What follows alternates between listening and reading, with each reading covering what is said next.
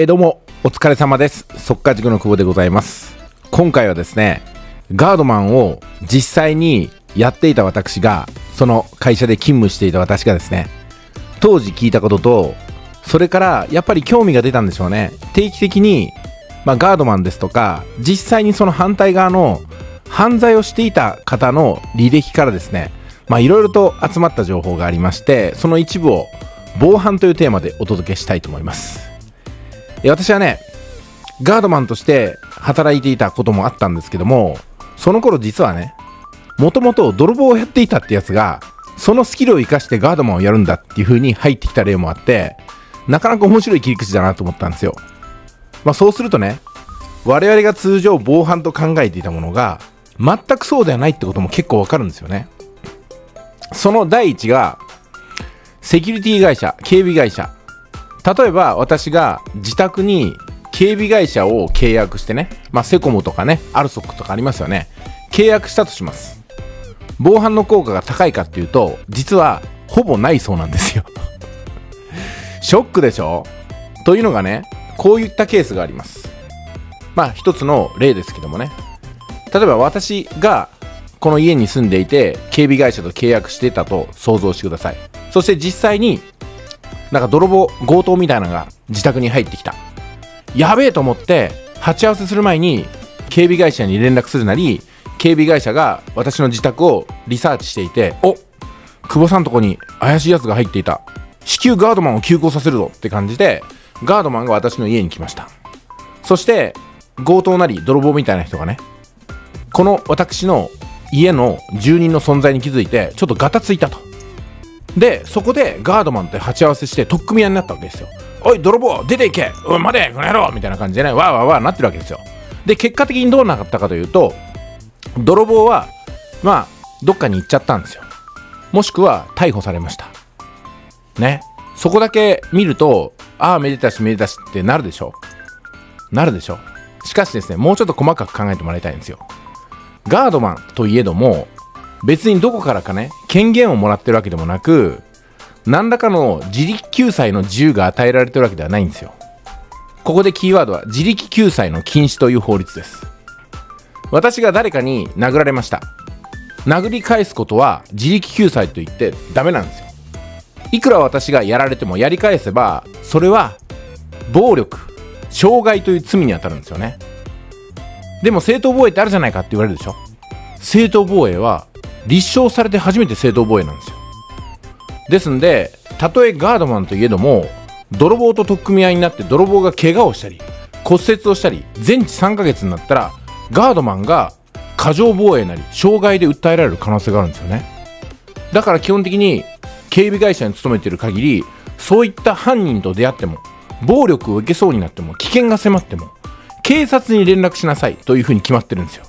つまりガードマンはあの格好でね現場に来ても基本的に電話をすることしかできないんですよ。大変です。どこどこに泥棒が来てます。今まさに住民が襲われようとしてます。あ殴られました。私のところにも犯人のなんか棒が迫ってきます。やられました。これしかないんですよ。やり返せないんですよ。ね。やり返したらやった責任を取らないといけないから自力救済の禁止がありますからね。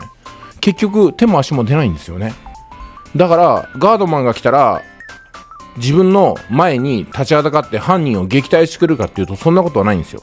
だから泥棒とか強盗もそれを知ってますからね当然知ってるんでこの野郎って襲いかかってきますよ。向こうは犯罪者ですから。別に逃げるためだったらその辺のね暴力でこう懲らしめたり懲らしめてって逆ですね。暴力で被害者を黙らしたりガードマンをね失神させたり。なんだったらこうやってしまうことも厭わないんですよ。自分が逃げれるためだったら。ね、それを知ってるんでこいつらどうせやり返してこねえよみたいなこと知ってるんで入ってくるんですよ。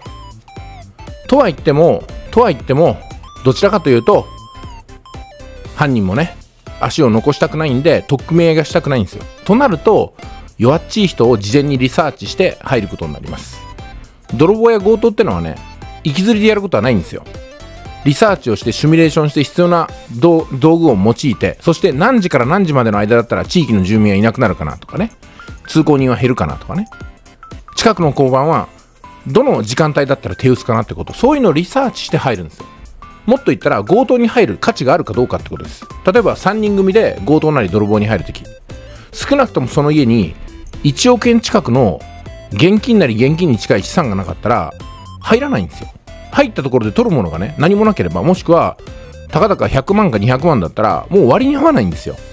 3人組の強盗だとね。だって100万あっても3人で割ったら30万でしょ。やってらんないんですよ。リスクを負ってそこまでやって。だから相当額の現金があると踏んだところに入るようになります。もしくはそれなりの価値があると思ったところね。その中で最近困ったのは住人がいる時に狙って入る強盗です。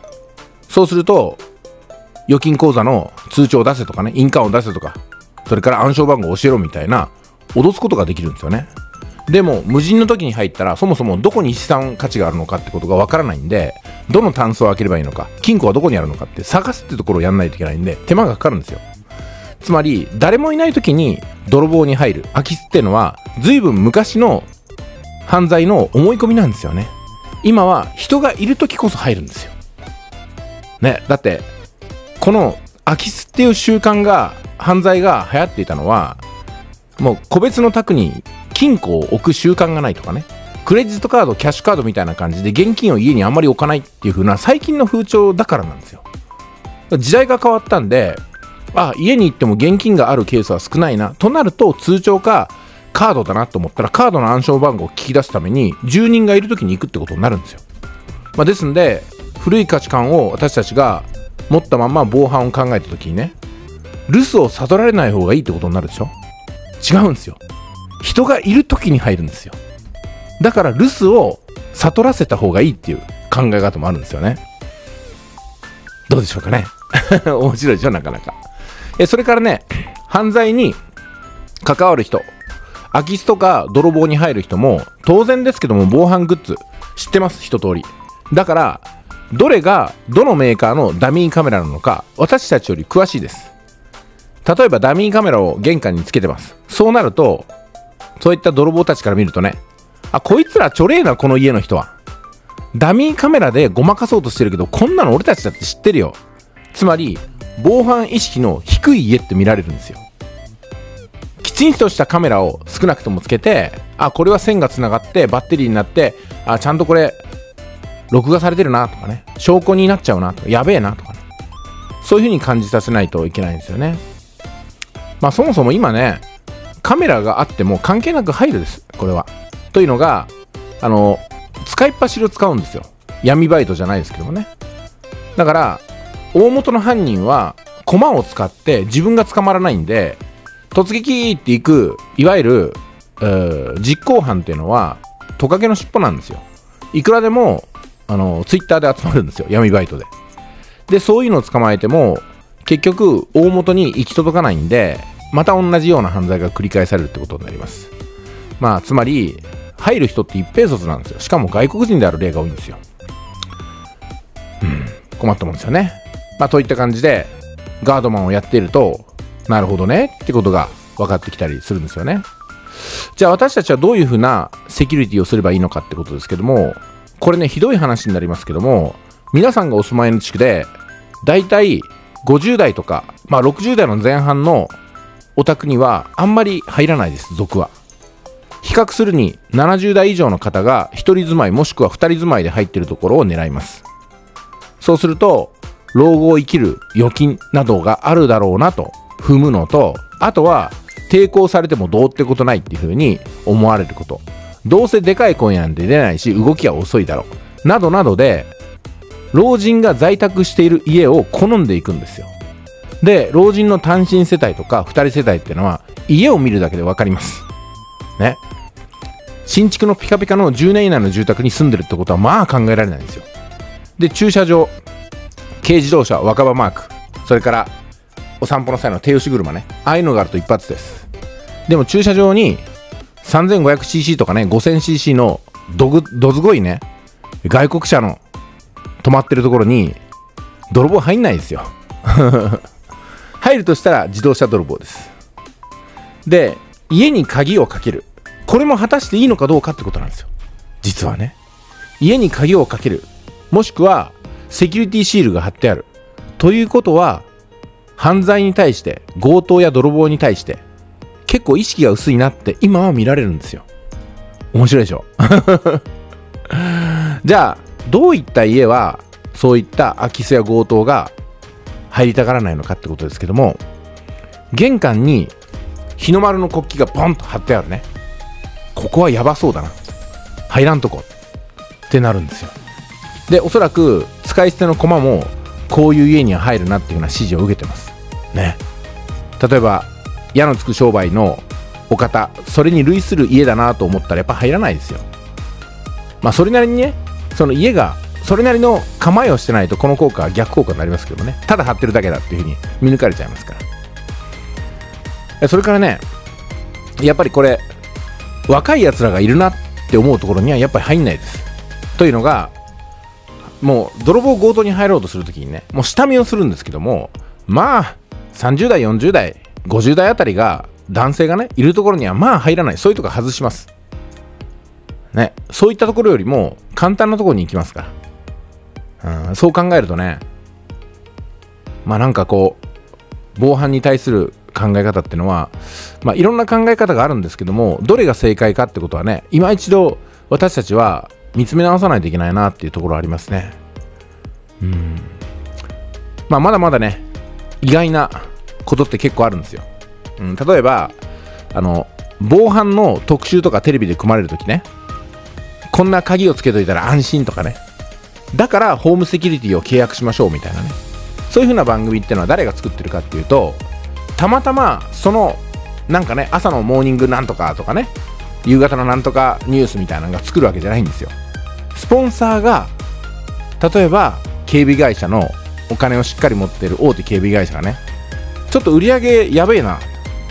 そろそろテレビの方にお願いして犯罪が増えてきたからこういったセキュリティ対策をしましょうみたいな番組を作ってくれないかって依頼を出すんですよ。でその依頼の通りにスポンサーから頼まれたらねがっぽりお金もらいますんで。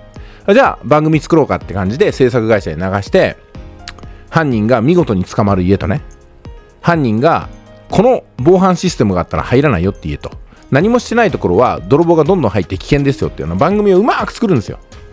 でなんかその声を変えて顔を隠したね。元犯罪者みたいなタレントが出てきてえー、そうですね。僕もこういうカメラがある家には入らないですね。うん。砂利石があるところは音がするんで基本的に行けませんみたいなこと喋らすんですよ。いやでもね犯罪の素人ならまだしもプロとして長年やっていて捕まらない人ってのは捕まらないような思考方法があるんですよ。例えばね敷石ってのがあります。家の庭に敷石って言って歩くとギシッギシッって音がするように石を引いてる例があるんですけどもその石を引いているお宅はそれで安心して他の防犯が緩いって判断するんでむしろ入るんですよ。だって敷石だってね10メートルの敷石なんてないわけですよ。せいぜい3メートルぐらいでしょ。そしたら23歩でその音は終わるんですよ。ポンポンで終わりですよね。それからセキュリティのためのサイレンとかなんかこう何回転灯みたいなのがわーってね鳴ったり光って近所の人に知らせるみたいなのがあるでしょ。あれも実は効果がないって知ってるんですよ、ね、防犯グッズのほとんどがダメっていう風に犯人はプロは思うんですよ。